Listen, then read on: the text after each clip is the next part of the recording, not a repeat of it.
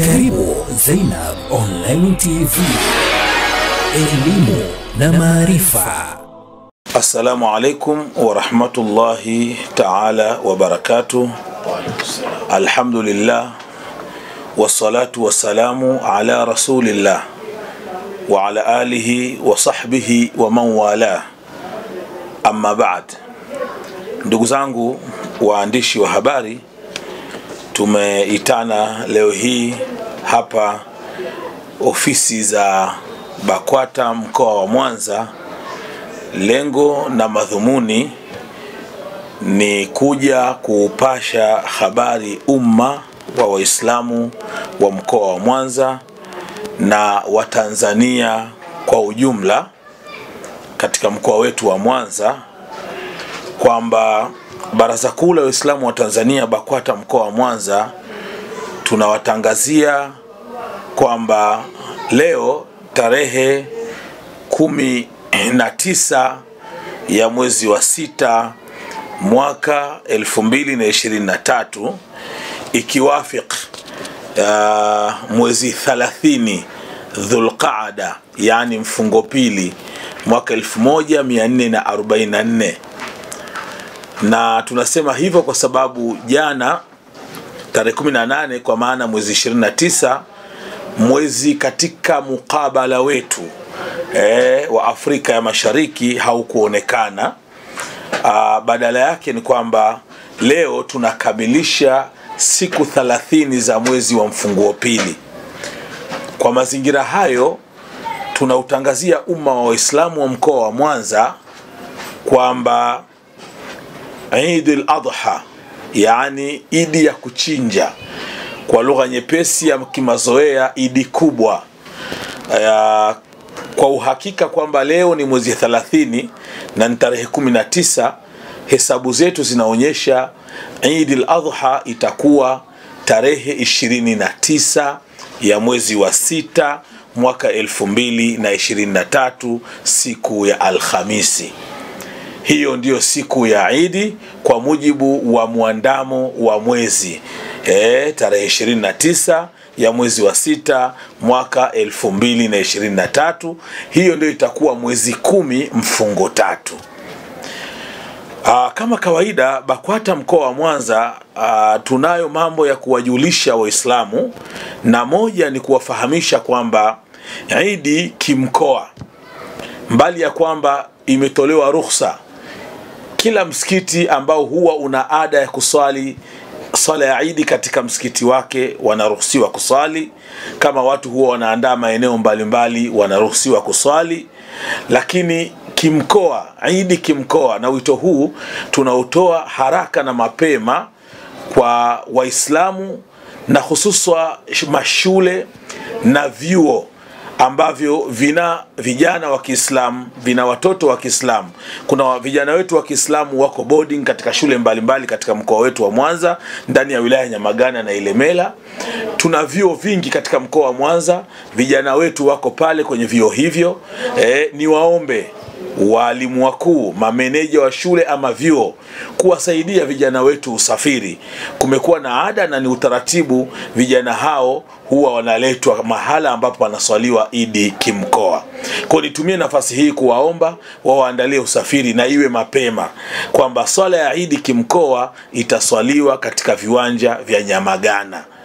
E, taratibu za kuomba vibali zinaendelea na zimekwisha anza kama ilivyo ada yetu na swala hiyo itaswaliwa kimkoa katika viwanja vya Nyamagana, na tunaweka Nyamagana miaka yote kwa sababu ya ukaribu, ukatikati, kwamba kila anayetoka kwenye kanda zetu tatu za mkoa wa Mwanza, anayetoka ukanda wa Nyegezi, anayetoka ukanda wa Nyakato, anayetoka ukanda wa Pasiasi, Nyamagana anatumia gari moja.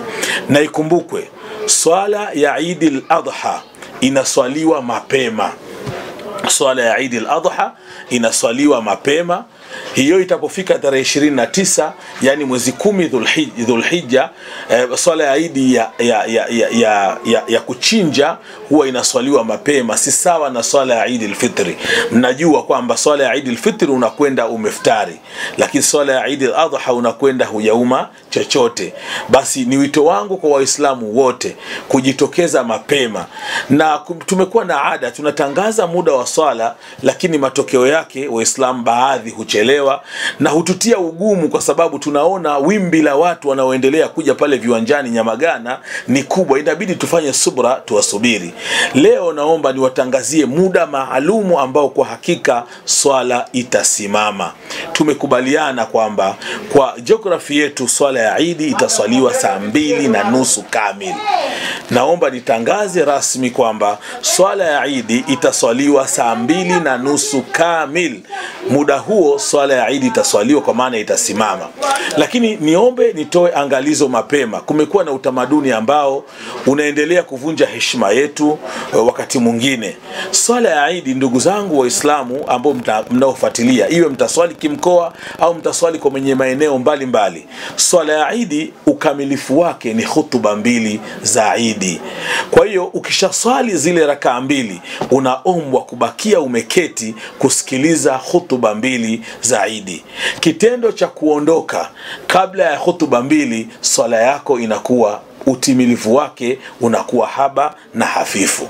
Ni kuombe sana muislamu uh, tumeona tutoe taarifa hii mapema kuwaomba waislamu kufuata utaratibu huo. Baadhi huvunja huo utaratibu na huamua kuanza kuondoka kama kina mama baadhi ya vijana na wakati mwingine hata vijana wetu wa mashule huanza kuingia kwenye magari na kuondoka. Swala ya idi haitimii kwa kuswali tu zile rakaa mbili bali inatimia pia kwa kusikiliza zile hutuba mbili. Na ikumbukwe katika hutuba zile mbili kuna ujumbe mbalimbali unaotolewa pale. Wakati mwingine unaweza kuwa ndio ujumbe wa mwaka e, na huo ndio ujumbe wa kiongozi mkuu wa waislamu katika mkoa. Kama imeswaliwa katika wilaya ndio ujumbe mkuu wa waislamu katika wilaya. Kama ni kata kadhalika kama ni msikiti kadhalika.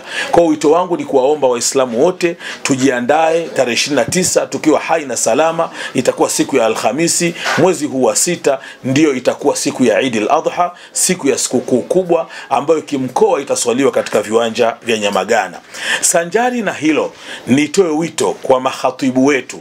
Kwa popote itakaposwaliwa swala ya idi ladha tunaomba kwa kawaida swala ya idi ina hutuba zake.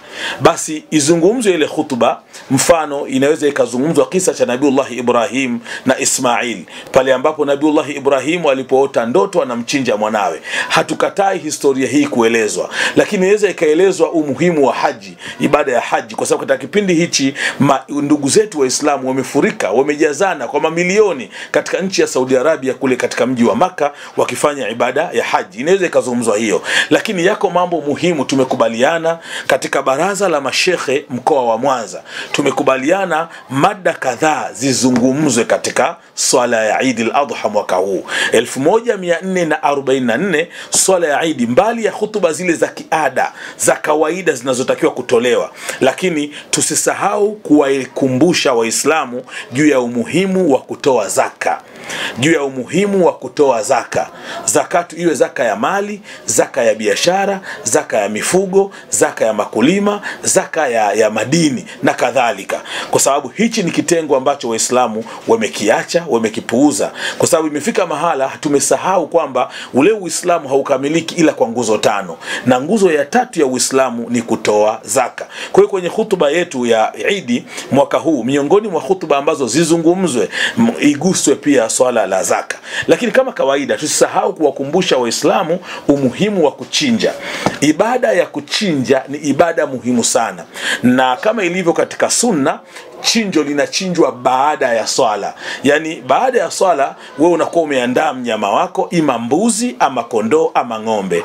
Na sheria ya uislamu inaelekeza mbuzi ni kwa mtu mmoja kondoo ni kwa mtu mmoja. Lakini ng'ombe mnaweza kuchanga watu saba na mkachinja ng'ombe mmoja. Ngamia mnaweza kuchanga watu saba na mkachinja ngamia mmoja mkawapa watu sadaka hiyo ya nyama. Kwa niombe tu kwamba tujitokeze kwa sababu wako watu wanategemea uchinjaji mpaka wapate msaada kutoka nchi fulani. Imezoeleka sasa hivi mpaka matajiri ndio watoe. Kumbe swala la kuchinja ni pale ambapo mwenye uwezo. Bwana mtume muhammad sallallahu alaihi wasallam anatufundisha kwamba yule ambaye ana uwezo wa kuchinja halafu hakutia nia ya kuchinja basi ni bora hata kwenye mswala wa swala ya idi asihudhurie. Hemuona maneno makali ya mtume muhammad sallallahu alaihi wasallam. Leo mbuzi katika maeneo yetu mbuzi safi alio- anayekubalika kisheria ni shilingi laki moja. Mfano uh, mbuzi na kondoo ama ng'ombe anayetakiwa asiwe na aibu yoyote awe mbuzi mnono asiwe ana jeraha asiwe imekatika sikio.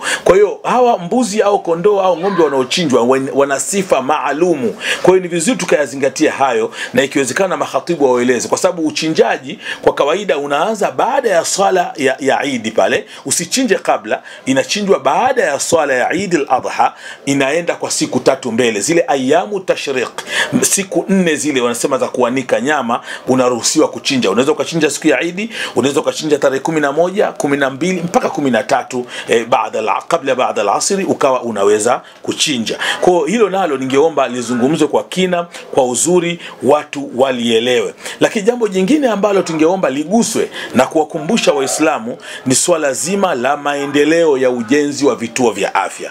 Msimamo na mkakati wa watu wa mwanza waislamu wa mwanza tunajielekeza kwenye kuhakikisha kwamba vituo vya afya vinajengwa iwe itakavyokuwa. Tumeamua kusimama katika hilo. E, kama mnavyoona kiseke tunavyoendelea kule elemela nyamagana kule kishiri misungwi sengerema uh, kwimba ukerewe eh, magu tunaendelea. Kwa hiyo juhudi za uchangaji tuna mpango wetu wa door to door au albab bilbab mlango kwa mlango taratibu zote zile ziendelee ndipo hata tukapaza sauti tukasema ma, maeneo yote yatakayeswali swala ya idi ladha uko utaratibu tumeelekeza wilaya zetu zote saba. Waweke utaratibu wa zile asilimia kumi tulizoziweka kwa ajili ya kwenda kwenye maendeleo. Kila wataposwali swala ya idi ladha wahakikishe zile asilimia kumi za kwenda kwenye maendeleo kwa maana ya ujenzi wa vituo vya afya zimekwenda. Na wito wangu ni kuwaomba mashekhe wa wilaya mashekhe wa kata wasimamie swala hizi zaidi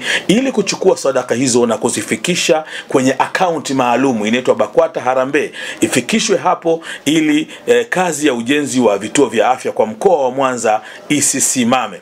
Lakini jambo jingine ambalo ni muhimu lizungumzwe wasia wetu tunahusia izungumzwe sana swala zima la maadili kwa maana malezi. Nyoko wa maadili katika jamii yetu katika katika katika nchi yetu katika mkoa wetu. Tuhakikishe tunazungumza namna ya malezi bora namna ndoa zinavyotakiwa kuishi namna familia zinavyotakiwa kuishi namna watoto wanavyotakiwa kulelewa. Kwa kadiri khatibu atakavyoona inafaa tuguse baadhi ya mambo. Na sio lazima tuyazungumze yote unaweza ukachukua moja kati ya haya ukayatia kwenye hutuba yako. Almuhimu umma uwe na jambo ambalo unakwenda kulizungumza. Kama kawaida yetu tunao utaratibu wa kwamba sisi katika katika mikubwa kama hiyo hatuachi kuendelea kuwahimiza waislamu na wasiokuwa waislamu watanzania kwa ujumla kudumisha amani na utulivu wa nchi. Lakini mshikamano baina ya waislamu kwa waislamu kuishi bila kujali madhehebu zetu taasisi zetu lakini namna bora ya kuishi kama watanzania bila kujali dini zetu kwamba huyu ni mkristo huyu ni mwislamu kuishi kwa pamoja kuonyesha mapenzi kama vile tunakwenda kwenye sikukuu ya kuchinja. Tunapochinja si waislamu si vibaya. Tukagawa nyama hata kwa ndugu zetu wasiokuwa waislamu lengo ni kutufanya tuendelee kuwa kitu kimoja. Lakini mwisho tusisahau kuiombea nchi yetu kuiombea amani kuiombea idumu katika amani idumu katika utulivu lakini kumwombea rais wa jamhuri ya muungano wa tanzania rais samia suluhu hassan ambaye kwa hakika mambo anayoyafanya katika nchi hii tunayaona kwa macho na wanasema mwenye macho haambiwi tazama. Japokuwa kuna wajibu wakati mwingine hata anayetazama ni vizuri kumkumbusha kwamba bwana si lile jambo zuri unaliona linafanyika? Basi lione. E, ni kama vile mwezi unaweza ukaandama lakini kuna watu wengine wana macho na wasione. Sasa yale mazuri yanayofanywa na mheshimiwa rais ni vizuri e, kuwakumbusha na kuwafahamisha. Mwisho kabisa ndugu waandishi wa habari ningeomba pia kuwatanabahisha waislamu e, kwamba tunaingia sasa uh, kuanzia kesho eh, tarehe ishirini ya mwezi wa sita tunakwenda kwenye tarehe ishirini na tisa ya Idi. Hapa katikati haya yote yanaitwa ni masiku matukufu.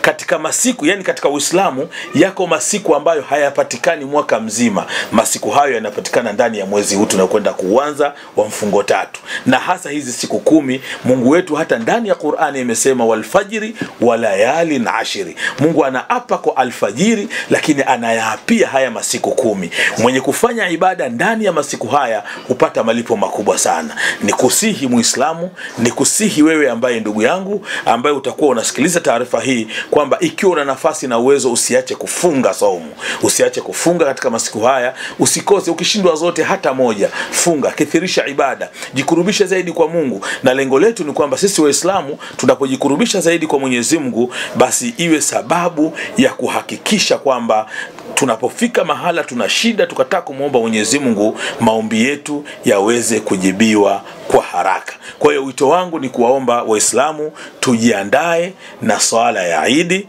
na kimsingi kama tulivyosema, swala ya Idi itakuwa tarehe 29 ya mwezi wa sita mwaka 2023 ambayo ni mwezi kumi mfungo mfungo tatu, na siku hiyo kwa tarehe yetu naona itakuwa siku ya Alhamisi. Tuhakikishe pia aa, sisi kama Watanzania tunaendelea kuishi kwa amani, tunaendelea kuishi kwa utulivu, lakini nitumie nafasi hii kutoa mkono wa Idi kwa Waislamu wote na Watanzania wote bila kujali imani zao. Niwatakie kheri, niwatakie salama, niwatakie baraka, niwatakie fanaka, lakini mwisho kabisa niendelee kuwahusia Watanzania tuendelee kushikamana, tusiumbishwe na mtikisiko wote, lakini tusimame pamoja na serikali yetu, tuiunge mkono, tuisaidie, itufikishe katika maeneo mazuri ambayo inayataka. Wabillahi taufiq, wassalamu alaikum warahmatullahi wabarakatuh. Ili kupata haya na mengine mengi, usiache kusubscribe Zainab Online TV.